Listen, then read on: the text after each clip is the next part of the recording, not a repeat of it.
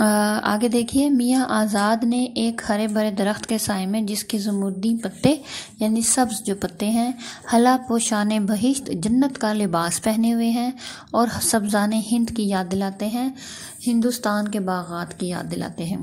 Gene पोश उतारा, यानी घोड़े की जीन का कपड़ा उतारा, सब्ज़ बेगाना को अपना मस्कन खास बनाया। सब्ज़ बेगाना खुद रो घास के ऊपर वो बिछा दिया टहनियाँ हवा के झोंकों से मस्तों की तरह झूमती थी। मस्तों यानी जैसे कोई खुशी से झूम रहा हो, उस तरह वो टहनियाँ हवा के झोंकों से झूम झूम कर नीचे ज़मीन को चूमती थी, फरते मेवा से। फलों की कसरत की वजह से, चूँकि वो वज़नी हो जाती थी शाखें और वो झुकाव आता था तो वो शायद राइटर ये कह रहा है कि वो फल के वज़न से जब ज़मीन पर झुकती थी तो ऐसा लगता है वो मस्ती में झूम रही हैं। चो तरफा फर्श, चारों तरफ़ जो फर्श था जमूरती सब्ज रंग का था और गुल है रंगीन और रंगीन रंगों रंगों के फूल थे। गुंचों का चटकना, यानी जो कलियाँ थी, वो चटक रही थी, खिल रही थी। शाखों का झूमना, शाखें झूम रही थी। फूलों की महक, फूलों की खुशबू, सब्ज़े की लहक, सब्ज़े का लहराना। सोसन की ज़ुबान दराजी। सोसन बच्चे फूल का नाम है और उसकी शक्ल ना ज़ुबान जैसी होती है। तो यहाँ पर ज़ुबान से ही मुमासला दे के कहा है कि वो जो सोसन के फूल खिलखिला रहे थे, असल में वो अपनी ज़ुबान से कुछ गुफ्तगु कर रहे थे। और नरगिस की नज़ाराबाजी, नरगिस का मैंने पहले भी बताया कि आँख जैसी शेप होती है तो वो जब नरगिस का फूल लह रहा था लग था कि वो लोगों पर अपनी निगाहें टिकाए हुए हैं। आँखों को सुरूर बख्शती थी, ये तमाम मंजर आँखों को खुशी अता करता था और रूह को लुत्फ मफूर और रूह को भी बहुत ज़्यादा तस्कीन मिलती थी। जहाँ तक पीक नज़र की रसाई थी, जहाँ तक तेज़ नज़र जाती थी। कुदरत ने अजीब कैफियत खुदा दाद दिखाई, यानी जहाँ तक भी नज़र जाए, अल्लाह की कुदरत के नज़ारे नज़र आते थे। हर सम से नुमाया शान की बरियाई थी, यानी हर तरफ़ से अल्लाह ताला की बड़ाई की शान ज़ाहिर थी कि इतना हसीन बाग बना हुआ था। लेकिन इस रंगीन कोठी पर और ही आलम में लुत्फ बाला, दो बाला था। लेकिन जो कोठी थी, उस पर मंज़र और ही खूबसूरत था। उसका बाबा आदम ही नराला था। यानी उसकी तामीर और तराश खराश और सजावट दूसरों से मुख्तलिफ़ थी। गुलाबी रंग दरवाजे दरवाज़ों का रंग गुलाबी था। लाजवर्दी पर्दे नीले रंग के पर्दे थे, जिनके देखने से बादाम तुर्की तुर्की के बादाम की तरह आँख सब्ज हो जाए, आँखें भी सब्ज हो जाएँ। यानी तुर्की में जो बादाम मिलते हैं, शायद उनका रंग सब्ज रंग का है तो उनको देख के उसकी याद आती। और क़वत बासरा, जो नज़र की क़वत है, फजारत पाए तेज़ हो जाए। इधर उधर दूब हरी भरी यानी घास और उसके बीचों बीच रंगीन बारादरी रहायशी जगह। थी चौ तरफा चश्मा, उस कोठी के चारों तरफ़ चश्मे थे और इधर उधर सब्जा लहला रहा था और मुख चहचहा रहा था, परिंदे चहचहा रहे थे। गिरदा गिर्द चश्मा सार बहता हुआ चश्मा था और जुए बार पर बहार से मालूम होता था, जुए बार नदी। पर मालूम होता था कि कोई जजीरा है। हर रो एक रह रो से, राह चलते बंदे से मियाँ आज़ाद ने पूछा। आज़ाद ने कहा, या हज़रत, ज़रा इधर तो आइए। रहरो कहने लगा, अल मरफूकुल अदब, हुक्म अदब पर फोकियत रखता है। लेकिन किबला कहीं वही सवार वाली मिसाल ना हो। अब आगे वो एक वाक़ बयान करने लगा है। कौन? वो शख्स जिसको आज़ाद ने बुलाया। कि एक मजहूल आदमी ने एक सवार को जो फर्श से तंदहू की बाग उठाए कड़कड़ा कर चला जा रहा था। फर्श तंदहू तेज भागता हुआ घोड़ा घोड़ा की बाग पकड़कर चल रहा था।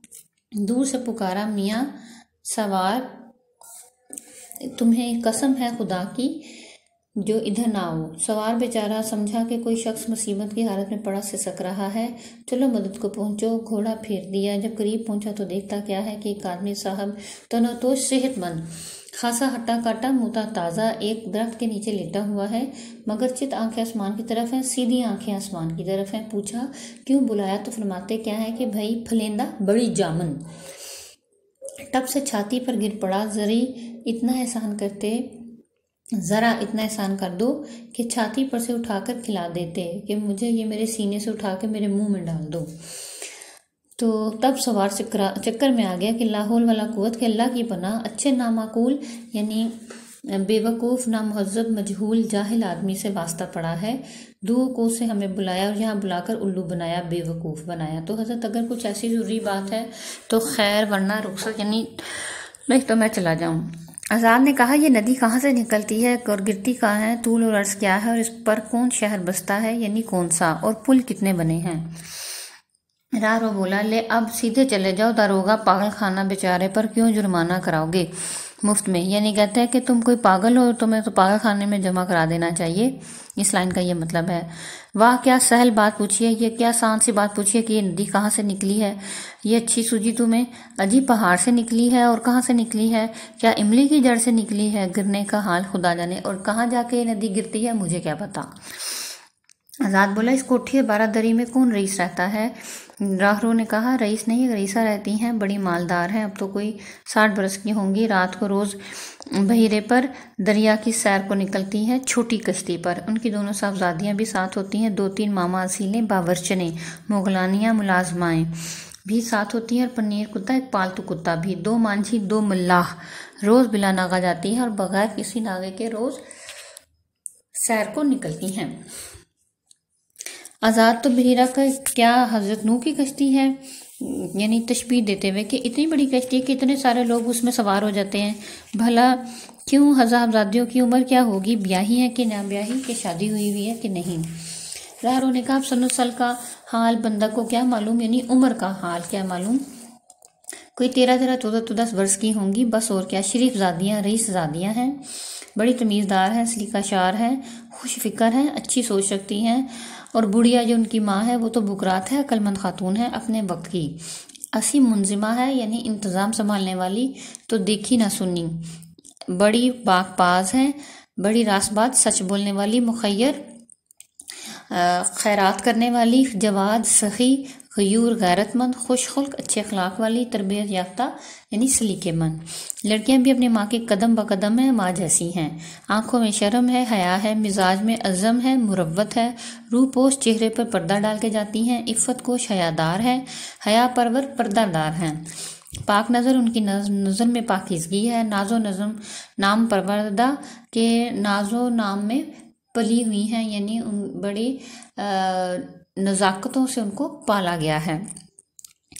मगर ख्वानदा पढ़ी लिखी हैं। ये नहीं कि अलिफ के नाम बेना जानती हूँ। रात को बड़ी सैर होती है, जिस वक्त बहीरा फराटे से भाव पर जाता है, तेज़ी से चलता है। हु हु, वो लुत्फ आता है। वाह वाह, शब माह में, चाँद की रात में। अलबत्ता कैफियत मज़ीद हासिल होती है, यानी और मज़ा आता है। एक मरतबा खाना भी बहेरी पर नोश जहाँ फरमाया था, उन्होंने खाना भी उस बेड़े पे खाया था। बड़ी दिल लगी हुई छोटी साहबजादी ने खाते खाते फरमाया, ये शेर है इसका मतलब बता रही हूँ कि आसमान का सब्ज दरिया और हिलाल की कश्ती, चाँद जो हिलाल का होता, बारीक होता है ना तो कश्ती की मानंद बताया गया है। हमारे हाजी कवाम की नियमतों में गर्क हैं, यानी खाने के सालन में ऊपर से चाँद और आसमान का साया सालन में नज़र आ रहा था तो ये शेर तब कहा शायर ने कि हमारे सालन में चाँद और आसमान गर्क हैं। आज़ाद वल्ला क्या कही? क्या खूब शेर था? क्या बरजस्ता सूझी बड़ी साहबजादी ने एक लतीफ़ा गज़ब का सुनाया। उनके मज़ा ने कहा, बाकर रोटियाँ खूब पकाना, बाकर उनके बवर्ची का नाम था। और उस पर बड़ी साहबजादी ने कहा कि, अम्मा जान, वो नहीं तो कौन पकाएगा? उसके नाम से तो बाकर खानी मशहूर है।